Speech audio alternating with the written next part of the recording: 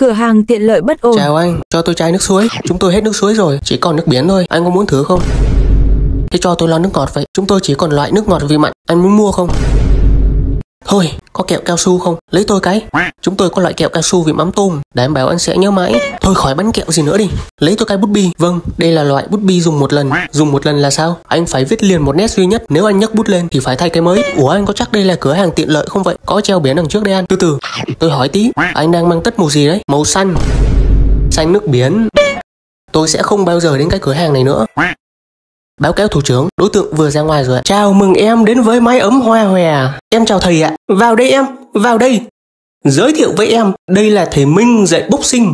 Còn đây là thầy Hải dạy Muay Thái. Ô, em tưởng đây là chạy trẻ mà thầy. Sao giống võ đường quá vậy? Các thầy tuy là vận động viên võ thuật nhưng lại rất là hiền từ. Sao các thầy không đi thi đấu mà lại đi trông trẻ ạ? Các thầy bị cấm thi đấu em ạ. Sao lại bị cấm thi đấu ạ? Vì đánh đối thủ bại liệt. Nào nào nào, ăn cơm đi em. Ờ, thầy ơi, em thấy hơi no, lát em ăn sau được không ạ? Được chứ em. Lát nữa thầy cho em ăn quỳ chó nhé. Đi ngủ thôi các em. Thầy ơi, em ngủ ở đâu đây ạ? Nằm dưới đất cho mắt em ạ. Dạ vâng, thầy cho em xin cái gối được không ạ? Được chứ em. Này thì gối này. Tòa sẽ xét xử về vụ bạo lực trong mái ống hoa hòe.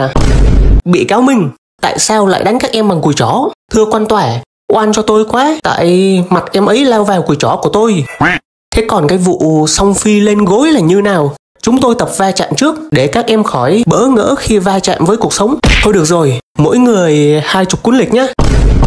Anh muốn gọi gì ạ? Cho tôi một ly cà phê. Anh uống cà phê gì ạ? Ờ, cà phê sữa đi. Không, mọi người sẽ nghĩ mình thiếu nam tính. Cà phê đen thì sao? Thôi, đắng bỏ mẹ. Cho tôi cốc trà đá đi.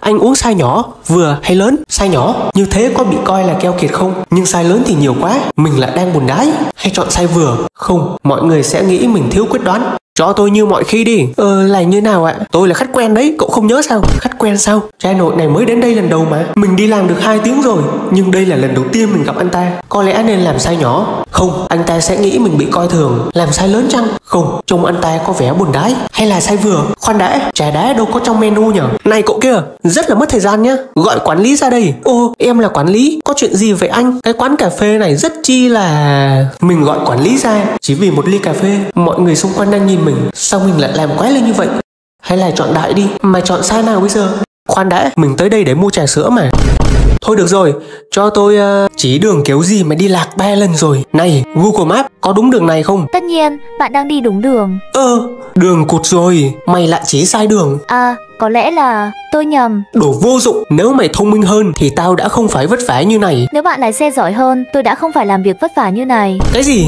Sao mày dám nói thế hả? Cậu lái xe đi, tôi nghỉ đây. Ê, này này, đừng như vậy chứ. Hey Siri, cách để xin lỗi Google Maps. Gần 1,4 triệu đàn ông Việt sẽ khó khăn trong việc lấy vợ. Ái trời, tập anh em chiến binh gao thằng Tèo nhà mình năm nay 27 tuổi rồi mà vẫn chưa có mảnh tình vắt vai. Kìa bố, Tèo nó mới 27 thôi mà bố. Thế mày không nghe tivi nói à? Kẻ triệu đàn ông ế vợ đấy. Nhà mình mà cũng thế thì có mà tuyệt tự tuyệt tôn. Bố à, giờ khác xưa rồi, bọn trẻ không vội vàng như mình ngày xưa đâu. Không vội rồi đến lúc 40 tuổi mới lo thì còn kịp không? Ông yên tâm, đến lúc đó cháu sẽ lấy được một cô vợ vừa giàu vừa xinh.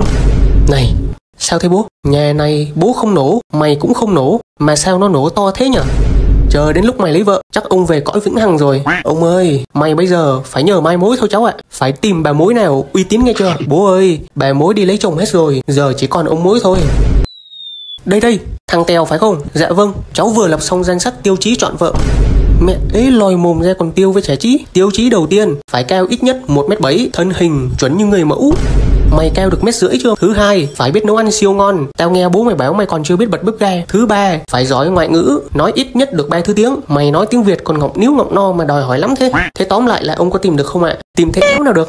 Đợi đã, sao danh sách của mày giống y hệt tiêu chí của tao chọn vợ năm xưa nhỉ? Thế thì sao ạ? Thì tao vẫn đang ấy lòi mồm đây này.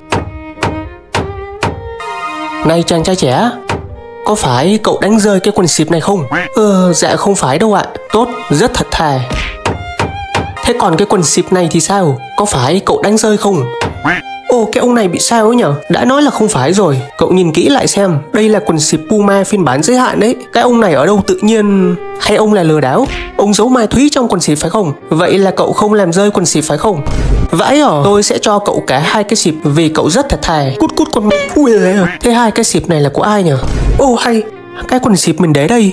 Vừa xuống tắm tí đã mất rồi Đố các bạn biết, Cái quần xịp còn lại là của ai Na à Tao đã quyết định rồi Chúng ta sẽ thống nhất Sài Gòn Sao cơ? Thống nhất?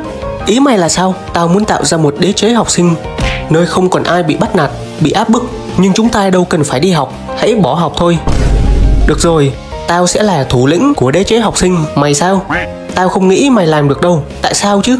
Vì mày không đủ quyết tâm Mày nhầm rồi Tao sẽ cho mày thấy quyết tâm của tao Thưa thủ lĩnh Liệu tôi có thể bú Oh. Nice. Ui. Alo ạ. Dạ anh Tèo phải không ạ? Dạ vâng đúng rồi ạ. Dạ mình có đơn Shopee, anh xuống lấy hàng giúp em ạ. Dạ anh chờ em tầm 10 phút được không ạ? Gì vậy anh? Chờ gì mà tận 10 phút? Em còn bao nhiêu đơn chưa giao? Vậy vậy thôi 5 phút cũng được anh. Ui rồi ôi anh ơi, trễ hết KPI điểm thưởng của em. 2 phút, 2 phút cũng được anh ơi. Ý là bây giờ anh đang ở nhà phải không? Vâng, em đang ở nhà, nhưng mà em đang rửa tay tí ạ. Khổ thế nhở? Đây đây, em xuống rồi anh ơi. Ờ, sao anh bảo 2 phút mà? Mới có 30 giây. Em tăng tốc được ạ. Ờ, của, của anh đây. Em cảm ơn nhé. Vâng, chào anh. Cho một sao. Ô. Chào thầy Toán. Vâng, em chào thầy ạ. Thầy ngồi đi. Dạ vâng, thầy gọi em có việc gì không ạ? Đầu tiên, tôi muốn nói về việc thầy lên lớp muộn tận 30 phút. Thầy ơi, thật ra em đi muộn là do tắc đường ấy thầy. Ừ, lý do có thể chấp nhận được. Khoan đã, nhà thầy cách trường có 500 mét thôi mà. Ô, Nhà em gần thế ạ? À? Thôi được rồi, bây giờ thầy giải thích cho tôi Tại sao thầy lại bắt học sinh quyên góp tiền Tiền quyên góp ấy em định sắm cái xe à? Sao lại mua xe? Dạ, để em đi dạy cho đúng giờ đấy ạ Thế còn cái vụ thầy livestream bán bánh trắng trộn trong lớp là như nào? Dạ, học sinh lớp em ngày nào cũng đi học sớm, có kịp ăn sáng đâu, nên là em làm cho các cháu ăn đấy ạ. Ừm, tôi đã trách lầm thầy rồi. Dạ vâng, không sao đâu ạ. À, còn cái này bên bộ giáo dục gửi cho thầy. Ồ, cái gì đấy ạ? À, đơn xin thôi việc. Khi bạn không có tiền đi du lịch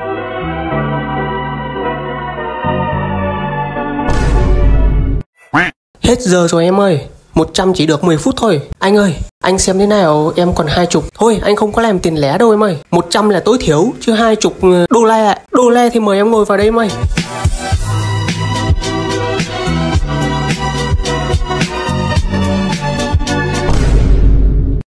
Rồi rồi, hết giờ rồi em ơi. Biết thế để tiền đi ăn lấu Chúng em sẽ trả phí. 500 thì chơi 500 200 được không? 200 400 đừng lăng nhăng với tao. Tắt tay ra really không chơi thì cút nigga em ra đây hội ý một tẹo. Sao đấy con? Mày mua được chưa? Dạ bà ấy bán tận 400 ạ. Cái gì mà tận 400 Dạ kia kìa mẹ. Ui giời ơi, Cái này 100 thôi. Trên Shopee bán có 50 Thôi, về nhà mẹ mua cho.